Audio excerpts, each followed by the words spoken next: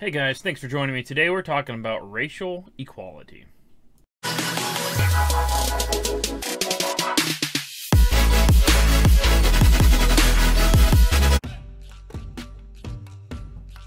So today is Martin Luther King Jr. Day, and if you don't know who that guy is, you need to look him up watch some videos. In fact, I recommend the I Have a Dream speech, which Dr. King had spoken on the steps of the Lincoln Memorial back in 1963.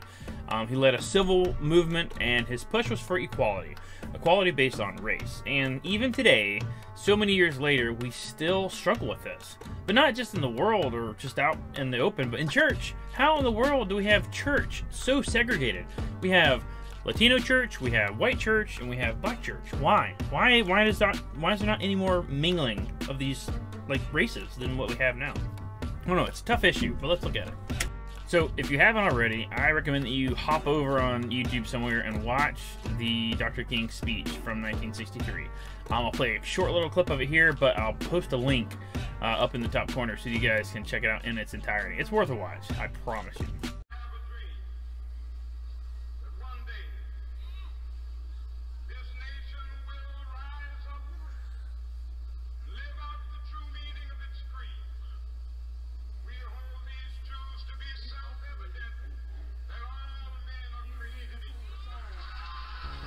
So I'm a white male and I grew up in the South, and honestly, I haven't had a whole lot of experience with racism. I mean, I grew up in like the early '90s, basically, and playing football and stuff. I mean, I had black friends and and went to school with guys who were black. I sang in groups with people who were black. I didn't have any any issues whatsoever as far as a, a racism uh, from a perspective of like us versus them. I know that some schools are different, and there are certainly like some some groups even in my hometown that that do have uh, blocks where they have, you know, this is, you know, one group of people and this is another group of people. But within my personal experience growing up, I did not experience that whatsoever. Um, so I didn't really understand the concept of racism. But when I was uh, about 16 years old, um, I was singing with a group and we went to Chattanooga and I was trying to get to this particular church. so I looked up the name, found the address, and this was before like GPS and stuff, or before I had GPS. And so I had uh, typed, I printed out the directions, written them down, and I was driving and I got here and uh, I went in and it was a predominantly black church and there was nobody else there that I knew. And I'm like, well, I must have came to the wrong place, but I'm here, and there's no way that I'm going to make it to the place that I need to be. So I'm like, well, I'll just you know sit in the back and I'll I'll listen to service. I mean, I was I was dressed up. I had you know shirt and tie and dress shoes and, and nice pants on. I mean, I wasn't dressed slobbish or anything. I mean, I was I was dressed for church. And I was dressed to, to sing at church, and uh, I didn't want to miss out on the service, and I was already there, so I'm like, all right, we'll we'll just we'll just chill out here and, and attend here. But there was one of the deacons came to me, and uh, he said, "Hey, he said, what are you doing here?" I'm like, I told him my whole story, and I said, "Hey, but you know, I just I'll just stay here and and you know." participate in church with you guys and he said he said no he said that's not gonna happen he said you don't belong here i'm like what, what, what do you mean I don't belong here? I'm, I'm, I'm a Christian. Like, we're brothers, right? And he said, hey, you, you need to leave. You need to get out of here. Um, like, you can't stay. And I was, I was crushed because I'd never, I mean, I'm, I'm a white dude, grew up in the South. I I had never experienced racism on the receiving end of it, and I, I, don't know that it was racist in and of itself. They could have had some like business meeting or something that they were doing that was sensitive, or uh, they might have thought that maybe I was going to be a threat, or I would I was there to cause trouble, and race could have had nothing to do with it. But it felt like racism to me, and like with a lot of things in life, it's not necessarily your intent, but the perception, and so you have to be careful about how you say and do things because of perception. But I mean, this this really hurt. I mean, because I'm like, I, I thought that I was going to be able to go in and, and worship with my brothers and sisters in Christ, and I got kicked out of church. And from what I perceived, because of the color of my skin. And I didn't have a racist bone in my body, and I didn't understand. Uh, I was confused, and, and it hurt me. Um, but so that was my experience of it. And so you can get bitter or better. And uh, I was determined that I wasn't going to have uh, or show any of that of that racism uh, in my life, and I certainly wouldn't teach it to my kids. Um, and so that, that was a sticking point for me um, of, of, racism, and, and, really my first experience that I'd, I'd had with it um, as a kid growing up. So, what is race? Well, basically, you have uh, different categories that people place other people in. And I am a firm believer that there is one race, and that's the human race. I believe uh, the Bible word for word in this literal sense. I believe that there was uh, started off with two people, Adam and Eve, and I think that every person living and breathing on earth came from those two people.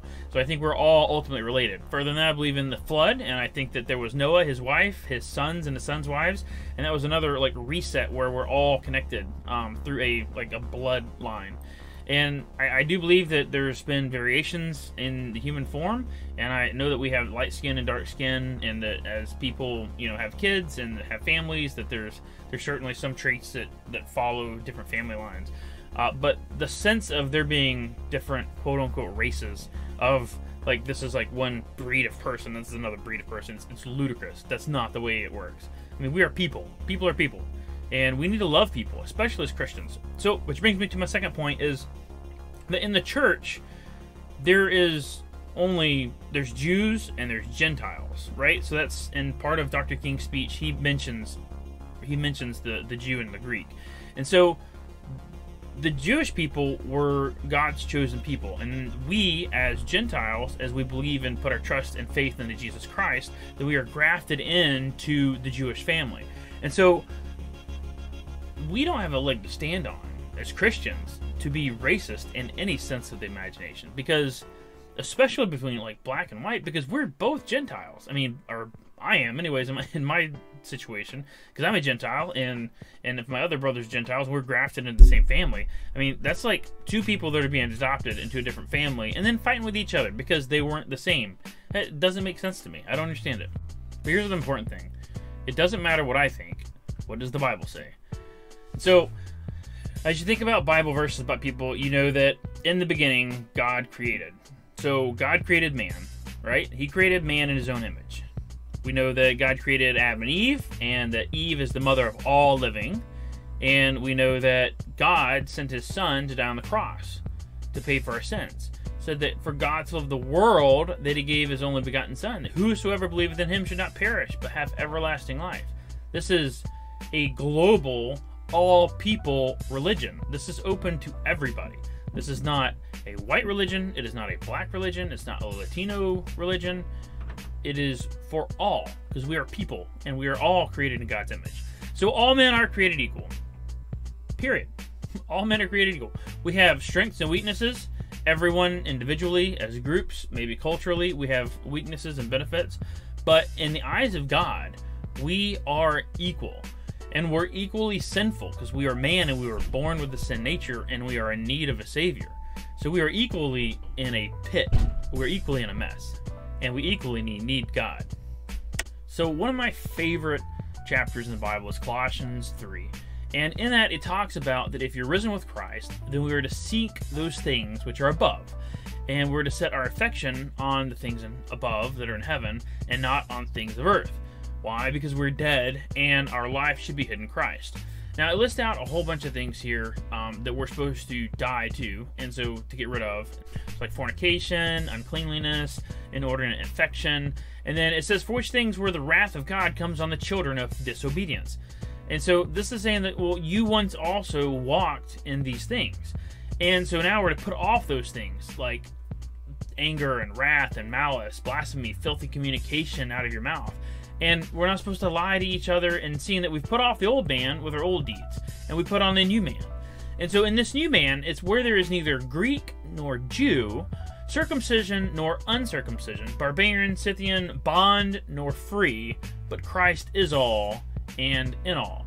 And so it's saying that there is no distinguishing distinguishing between whether you're slave or free, whether you're barbarian or Scythian, or whether you're Jew or Greek, is that you are judged by your character and not the way that you were born.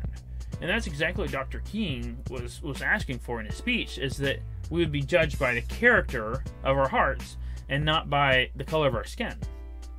And so if we are have to get rid of all this old stuff, and it doesn't matter if we're bond or free or Greek or Jew, then what then does it matter? Well, it says, Put on the elect of God, holy and beloved, bowels of mercy, kindness, humbleness of mind, uh, meekness, and long suffering, forbearing one another, which is forgiving one another if any man has a quarrel against you, even as Christ forgave you, so also ye do.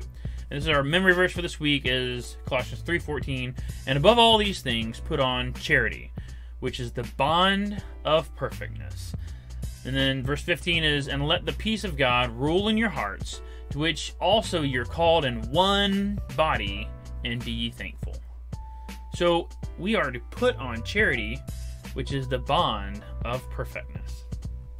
And above all these things, put on charity,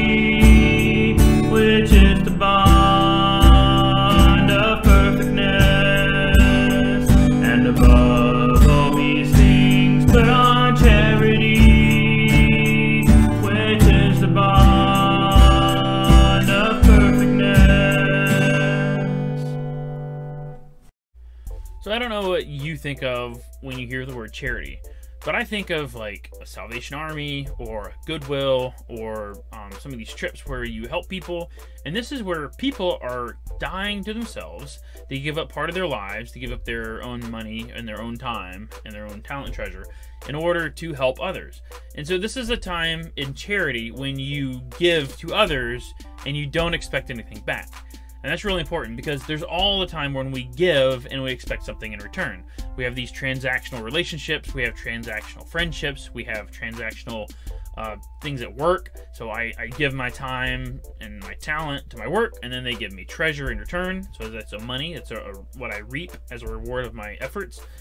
Um, but in charity, it doesn't work that way. It's I give 100% and I expect nothing in return. And so, if we have our minds armed with this, of above all things, like at the tippy top, if we are, if we're putting on charity in our in our thinking, and that's the bond of perfectness, that if if we will have in our minds that we are giving 100% and selflessly serving others, and that we're not expecting anything in return, then that's going to solve a lot of our problems a lot of our social problems, a lot of our people-to-people problems. I mean, this is this is a huge thing. We're selfish, greedy people, and it causes us to rub and grind and like we fight for us versus them, and you're higher than me, and I'm higher than you in this this rat race of life. No, that's that's not how it works. It's not how it's supposed to work. This we we're supposed to be servants and humble and to serve. And so if we do that, we can let the peace of God rule in our hearts. And so if you can serve and give 100%, 100% and expect zero return um, and be called in one body, I think that the world would be a better place. So do that this week in honor of Dr. King um, because God wants you to do it. Don't look at skin color. Don't look at race. Don't look at whether you're Jew or Greek. Serve God and serve man. Thank you for joining me.